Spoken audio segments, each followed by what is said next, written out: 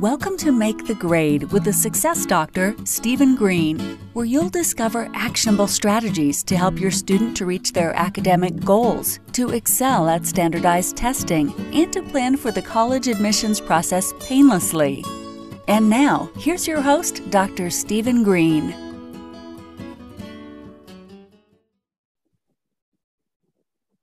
Hey everyone, Steve Greene, the Make the Grade podcast. We are back yeah, let's get the theme song going here. A little there. Oh, there it is. Everybody's favorite song. So, uh, what's going on today? What is going on with you? Hope you're having a good May. It is the middle of May here in Philadelphia, and uh, I have an interesting guest today. Very interesting guest. I got to tell you something. I grew up in the 70s and 80s, and uh, folks, this may be shocking. There were no phones, cell phones there weren't even computers, there weren't tablets, there was no internet. There was no computer programming in the way that's going on now. In fact, my father, tell you an interesting story, was a Fortran programmer. Fortran. Does that even exist anymore? My guest, Vash, Yash.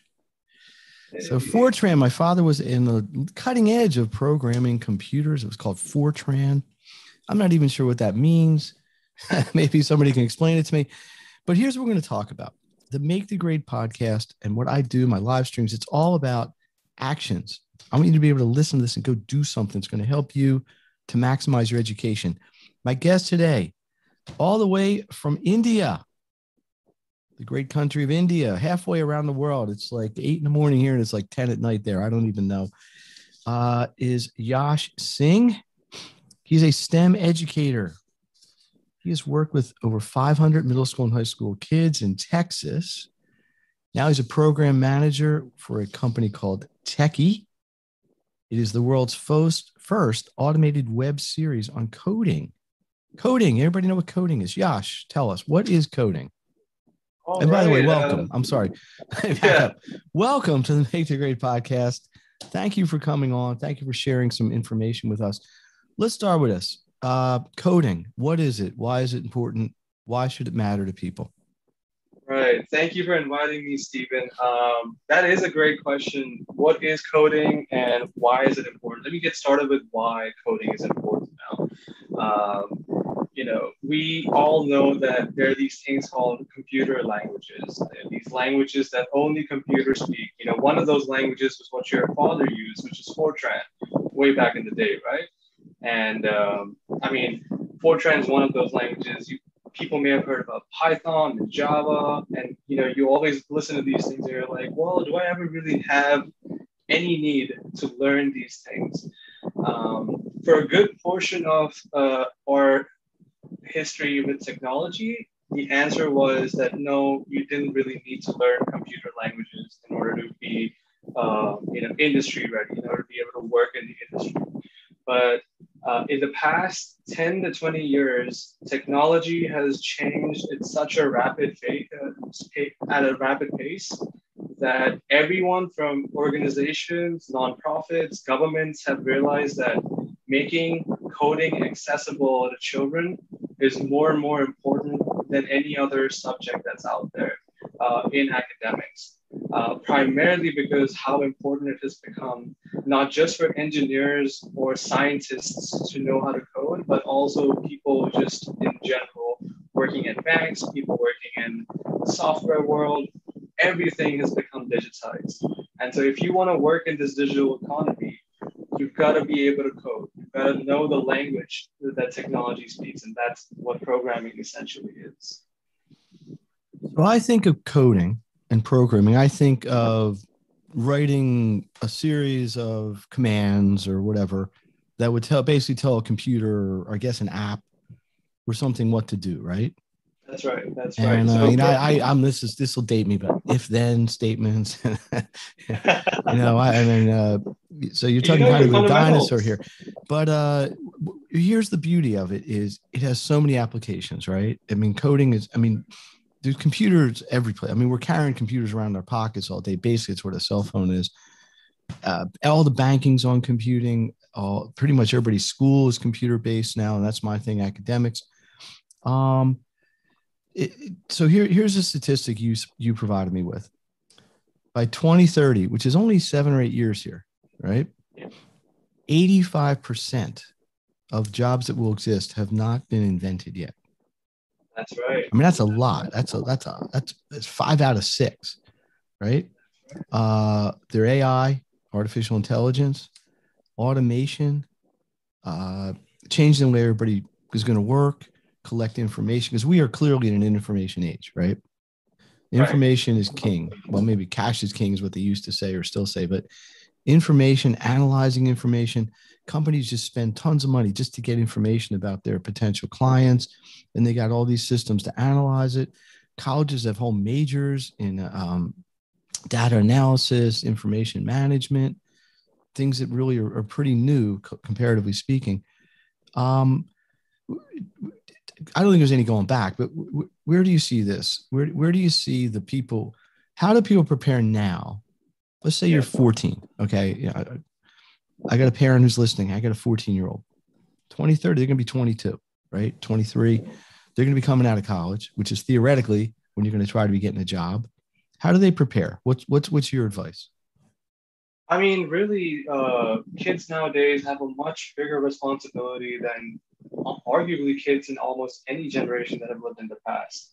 Um, to give you some perspective about how radically different kids are going to be living in this world, um, a typical child who's like, say, nine or 10 years old today will most likely never have the need to get a driver's license even if they do get a driver's license, it wouldn't necessarily be extremely necessary, important for them to get it because they're going to be living in a world where automated cars, self-driving cars are going to be the norm.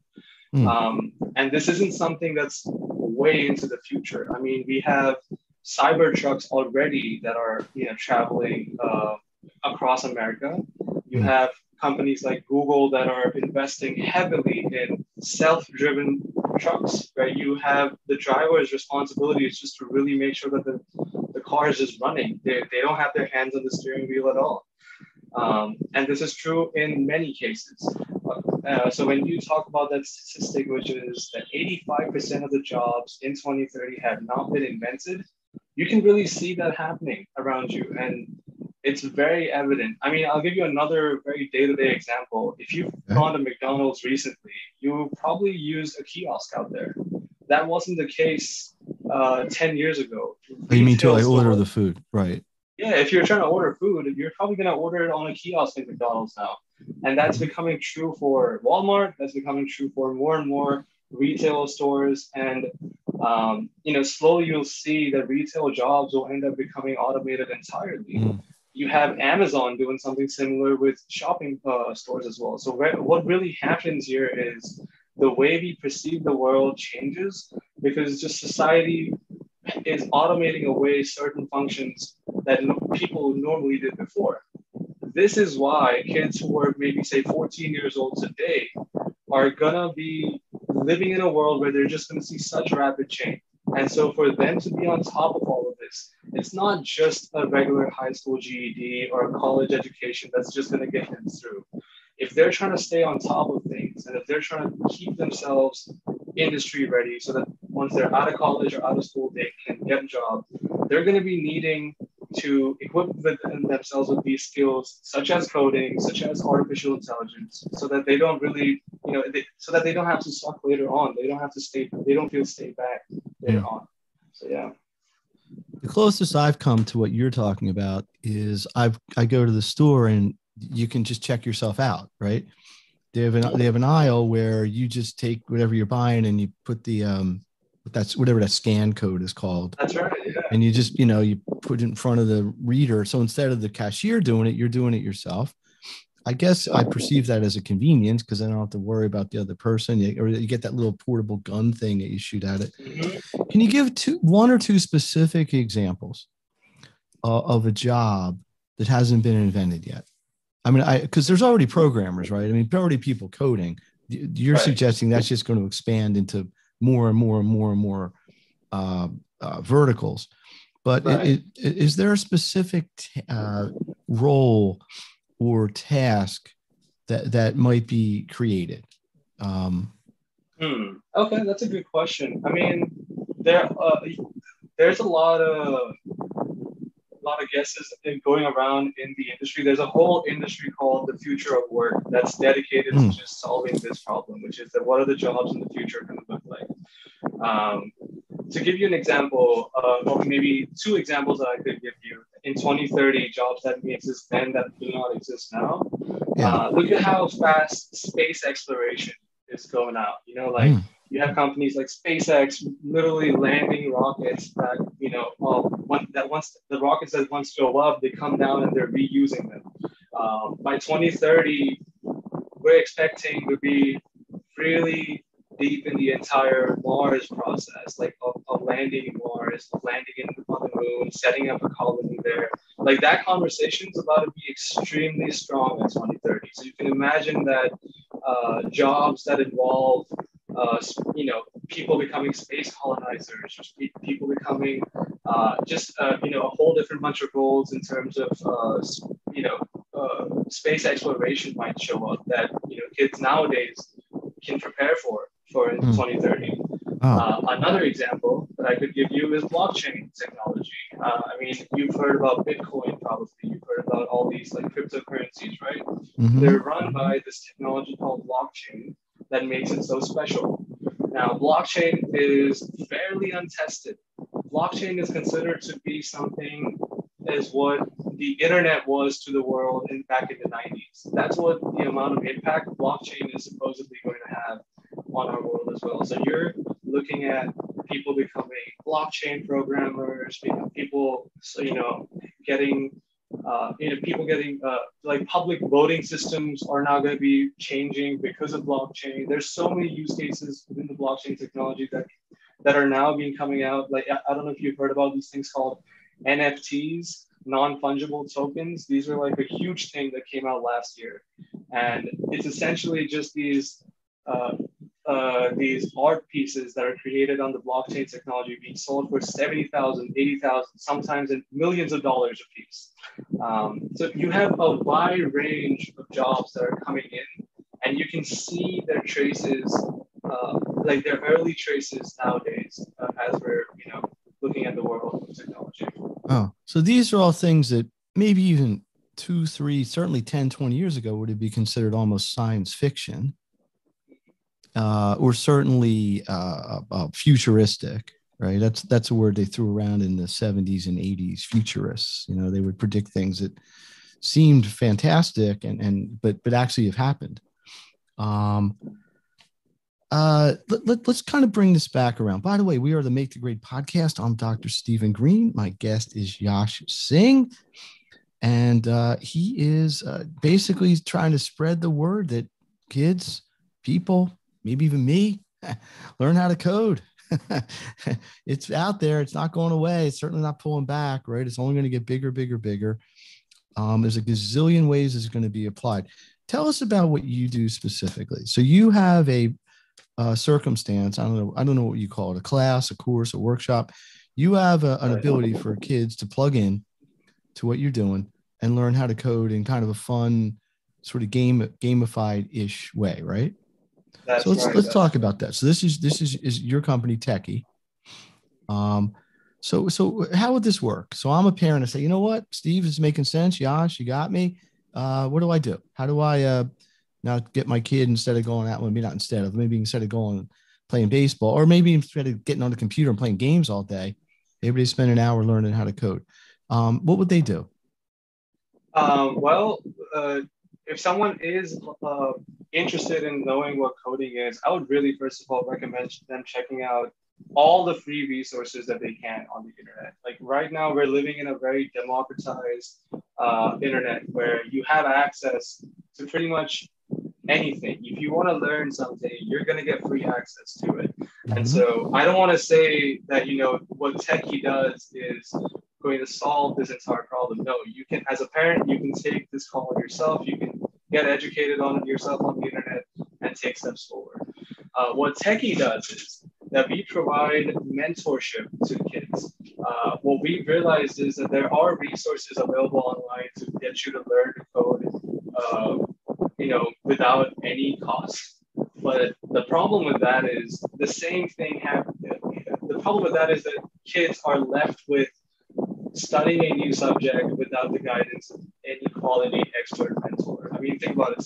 You teach kids as well, right? Like, if you mm-hmm. really wanted to teach someone history, you could just give them a history textbook and be like, here you go, just go ahead and enjoy it. You know, it's free. Uh, learn history, come back. But no one's going to understand uh, the, you know, the seriousness of what they, the things that they're studying unless someone guides them through it. Mm-hmm. That's really where Tekie comes in. Uh, we're the world's first animated web series on coding. So what we do is that we have an entire animated web series that uh, that is essentially shown the kids. It's a part of our course, uh, and our course is meant for beginners who are just getting started with programming, who have zero to minimal experience with programming, and um, you know if they're trying to learn uh, in an affordable and in a engaging way, that's where Tekie comes in because uh, another thing that you'll see with coding programs is that they're mighty expensive. Uh, a typical coding tutor would charge approximately $40 an hour in order to tutor your child, which is you know a substantial amount. Uh, at Tekie, we only do $17 an hour. Uh, you know, the, our goal is to make this make access to export instructors easy uh, and be able to really communicate uh, Python programming to children in the most effective way possible. So, uh, okay, so we let's let's sort of scenario this. You get a completely novice beginner person. They join in with Tekie. They get access to your uh, resources. They get a mentor slash instructor. And and by the way, what you're saying is very true. Listen, one of the things that keeps me in business is the fact a lot of people struggle with subjects like math and science. Um, one of my roles is just to literally teach, hey, here's how you do this, here's how you do this. But what I've always prided myself on is being able to make the connections into other things, to integrate what we're learning into larger pictures, what came before, what comes after, uh, as opposed to teaching to the test. It's a big debate in education. Um, how long is the program or how long could somebody stay in it? A and B, what a graduate is there if there is such a thing, a Tekie graduate, would they yeah. be like a master programmer? Would they be a, a, good programmer? Would they be able to go out and I don't know, code a a, a, a program? I'm what what yeah. what's kind of the end game here? And I'm sure the you're probably game, adding to this all the time, but oh yeah, of course. I mean, and that's a great question. Uh, you know, what is really the end game? What's going to happen once I enroll my child in something like Tekie? Um, Tekie has this entire student journey planned out. So this journey has been designed for the child of today to be able to become industry ready at the end of the whole experience. Um, you know, if you had to basically say rate someone from a zero to 10, with a zero being having no experience with programming, to a 10 being I am a master programmer and I know everything programming. Um, through our first course, we essentially hope to get our kids up to a six. Uh, you know, a six is a respectable number where we believe that, you know, they are now not only comfortable with programming, but if they were to pursue this in the future this were to become their like a much advanced topic for them, they would still not be scared about it. You know, we uh, essentially we have taken them out of their comfort zone and made programming their new comfort zone. Uh, that's what the hope is for the first course. But for the entire Tekie journey that we've planned out, the goal is to be able to bring these kids to a 10 or at least close to a 10 by the time they are done with high school and they're going out in college. The first the first course is just getting them to a six, which is a Python programming course. But uh, we have Python is the language. Python is the language. Okay. Yes. For us non for us non techies. No, Python. No, it's like a, I think of Python, I think of a snake, but you're talking in ter- like this is like C plus or basic right. or you know, you, you got to get to my level here a little bit. Um, I got you. On, on the scope of the whole world of programming, is Python a very commonly used program? Is it a niche program? I assume it's out there. I, I don't know what what the most commonly used uh, software development programs are. So basically, if somebody stays the course over some number of weeks, months, or years, they can go from absolute beginner to very experienced, strong, uh, independently independent programmer through That's your right. program. In in, in not right. like 20 years in like two three years Oh no, no, not at all. Not 20 years at all. No, no. yeah. Uh, so there's there's even oh, hope for within people like me no, within months you should be able to uh, be in a very confident position. and uh, and so okay let, let, let's flip the let's flip it a little bit so now i i put my kid in this they've done this a year let's just say. What could they actually program like an app a game uh, uh, uh i don't know I, I mean what what kind of pro because ultimately it's sort of product development based somewhere right? Uh, or at least support. So what what could somebody i'll use the word program but i guess create? Um, Yeah. could could they make an app? Could they make a game? Could they make or all of the above? Uh, could So- they make a, I don't know, like a, a, a recipe wrap? I, I don't trying to put this into sort of a results based context. Got you, got you. So at the end of the first course, within a few months, if uh, your child is a part of this course, they will be able to do programming at the level of what uh, sophomores in college are able to do. Mm. So if you're taking a, if you're a, if you're someone taking an undergraduate degree in computer science, which is something that I did, Okay. uh, at the level at which you reach at the end of your freshman year, entering the sophomore year, is what your child will be at the end. so one year of like college level computer programming That's is equal right. to phase one of Tekie. That's right. And Okay, here's why wow. I'm, I'm Well, saying that's that. that's pretty impressive. Yeah, and I mean, and here's why I'm saying that because um, a lot of co- your question was whether your child is going to be able to make apps or games. Well, I mean, those let me let me rephrase it. It's Right. it's like one thing to have the skill set. Okay, now I know how to program. The other side of it is what do I do with it, right? That's right. Because it, look, I tutor math all day. Well, not all day, but a lot. And you know what the most common question I get from people that don't like math is? What? No, the most common question is, when am I ever going to use this?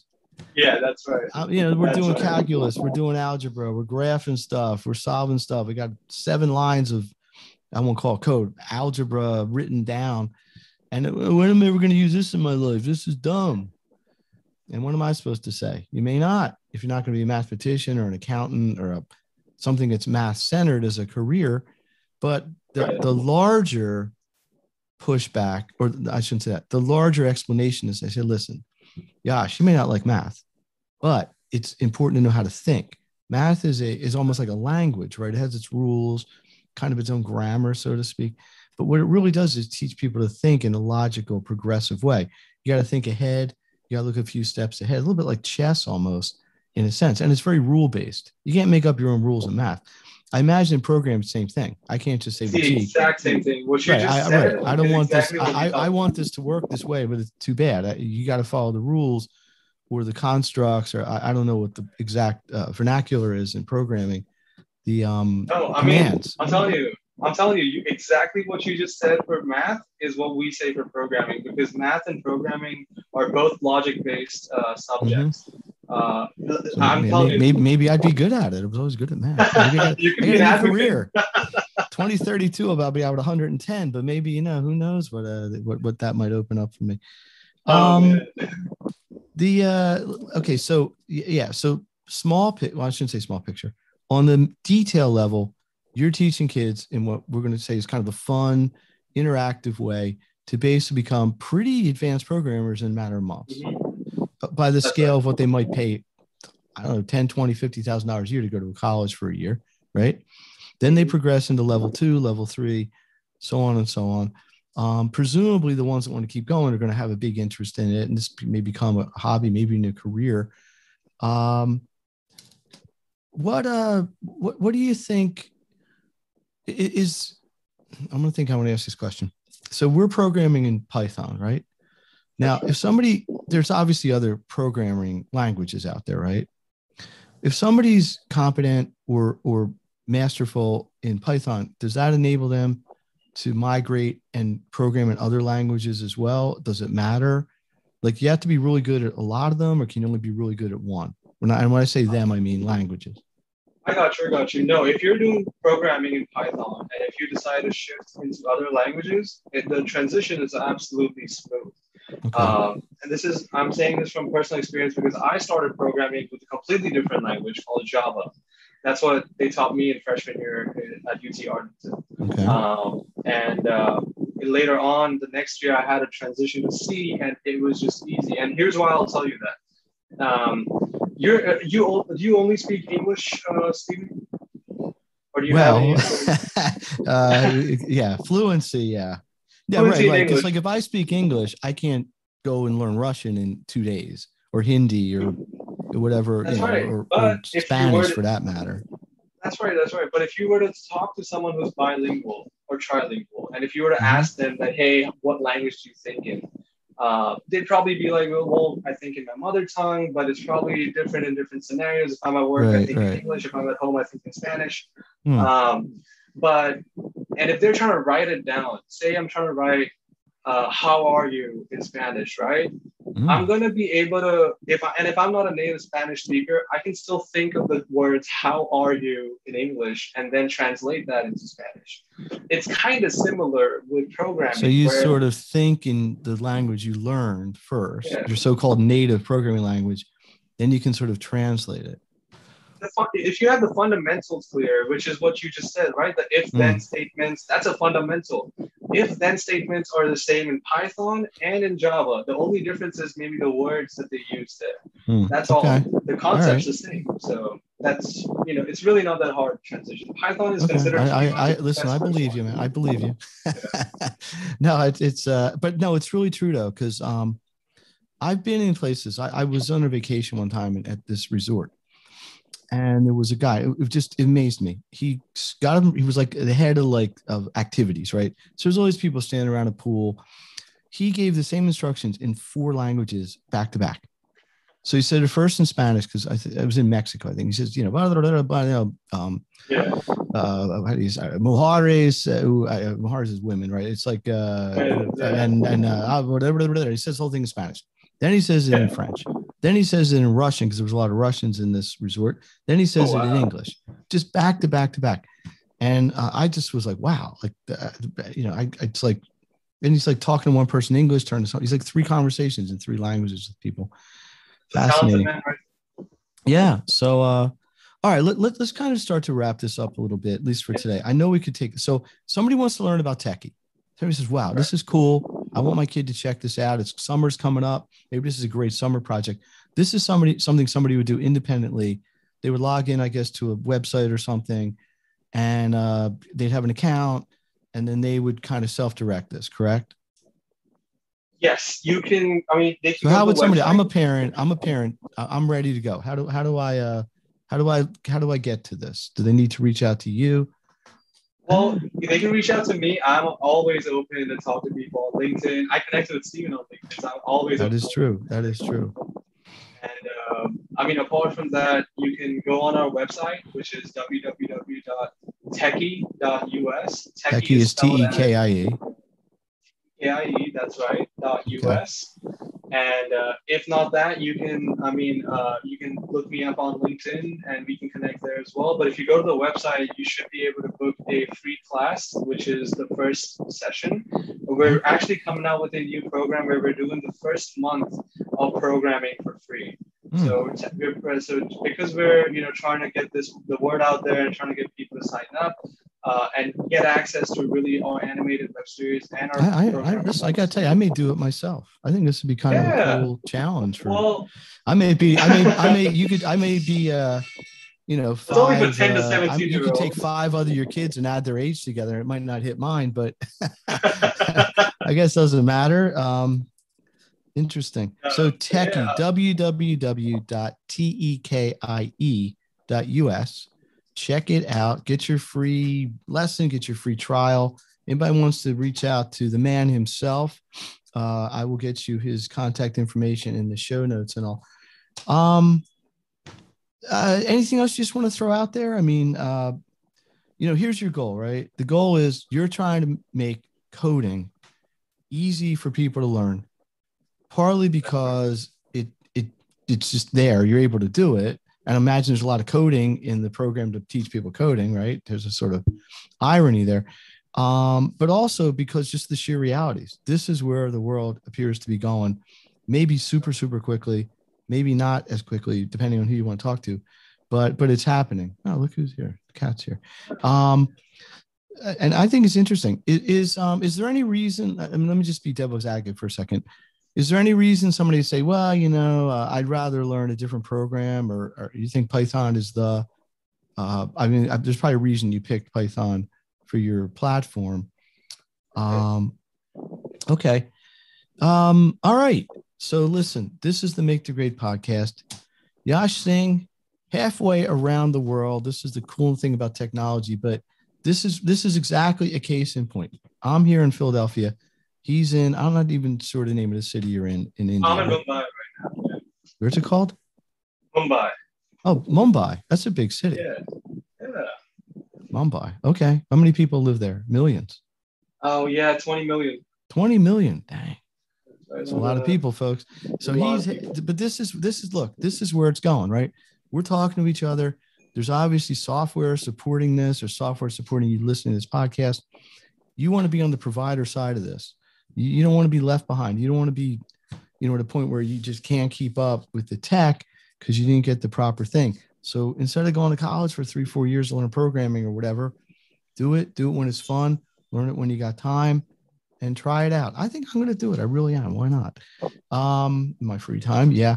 Uh, Yash, anything else you want to share with us? I mean, you're a busy guy, right? But, um, uh, you got any other things you like to do? I mean, it's, it's, uh, you know, I mean, you, you like, I don't know, cricket. What are they? Don't they like cricket? Isn't isn't cricket big in India? Cricket's huge here. I'm, I'm huge about cricket myself. I'm glad you. I, I, I don't want to stereotype, but I don't, I don't know if they even have a cricket field in America. They must Uh, somewhere. Cricket's a cricket's the sport. It is the sport. So you're not stereotyping at all. I don't really understand it. I, I watched it was on the TV the other day, and I really didn't even understand what happened. like a play happened, everybody was cheering and going nuts. If you've got a what just happened? Netflix, if you've got a Netflix, you should go to this thing called Simply Explained. I think they have a 15 minute episode on how you know what cricket is, and they explain Okay. it within. You should probably check that out. Okay. Really nice. I know the wicket. I know wicket. There you go. Do you, you actually play cricket? Do you got one of those paddles and all? Yeah.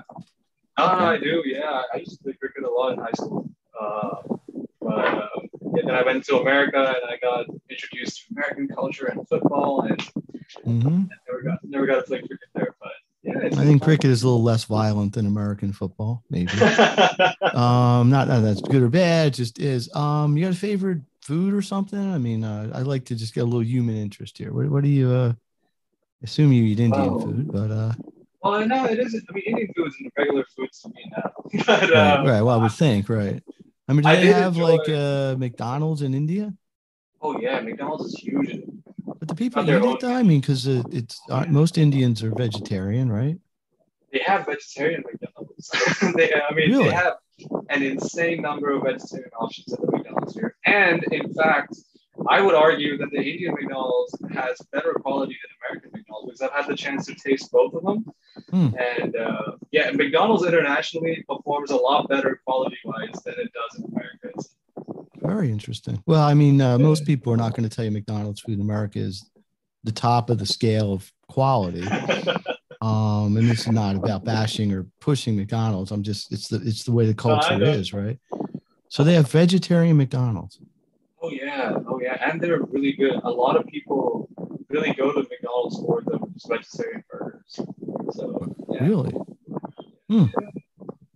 I'll Wow. send you a menu once. Uh, Well, if I ever make it to Mumbai, you and I will have to go to the McDonald's and have a uh, curry veggie no, burger. it's called it's called a Veg Maharaja burger. Uh, wedge and we're gonna have. Maharaja burger. You'll have to send me a Yeah. picture of that. Next time you get one, send me a picture. I got you. I got you. The Maharaja burger. Interesting. See, look at the things you learn here. I, I I did not know any of this. All right, listen. Uh Singh, Yash Singh, thanks again. I hope everybody tries this out. Um, you get you get a free trial. You, you never know. You know, this may this may change your career. First one's free. The first one's free. So for Okay. kids, if, you're, if you have a kid between the age of eight to seventeen, the first one's absolutely free. So you know, there's really no cost for signing up. What if you got a, uh 22 year old kid? Oh well, they got they have other options for that. Okay. you got a window, but still, but you know, look, you learn young, you get interested. Maybe this is something to go from a hobby to a big interest to a career. And as we have uh, tried to argue the case in eight, 10 years, it might be predominant anyway. All right, we are going to wrap it up in a second. Studio audience showing their love for Yash. Thank you. Thank, you. very much. Uh, hey, if you liked what you heard today, please subscribe to the podcast. I'm coming up on a thousand subscribers. I don't, you can't even track exactly who it is, but if I know who the thousand subscriber is, you're going to get a free Make the Grade gift pack. Yeah, which is worth like 40 cents, but but it's it's really really good, and, and you can't buy it. You can only be given it. So uh, we are here uh, supplementally. A lot of stuff going on right now in the Make the Grade world. I'll, I'll probably talk about that more in the live streams. So check that out. Uh, today it was all about coding, why it's important, but really more importantly, the simplicity of learning it when you get with the right system, the right people, uh, take you from zero to a million in a couple years, and then you're ready for everything. And uh, who knows? Who knows what that can be? Maybe you write the next great app, and uh, you can retire your parents. I got to get my uh, get my kids working on this. So uh, yes, thanks again. We will talk again. There's way more we could talk about. Maybe we'll bring you back in uh, you know a month or two, and, and maybe you can get into Let's some examples and some case studies. I think that would be interesting. All right, we are going to wrap it up here. I will see everybody next time. Steve Greene, the Make the Grade podcast. Have a great week. And remember, it's all about taking action, taking action to maximize your education. And so long. You've been listening to Make the Grade with the Success Doctor, Steven Greene. If you enjoyed this episode, be sure to subscribe. For more resources and support, please visit makethegrade.net.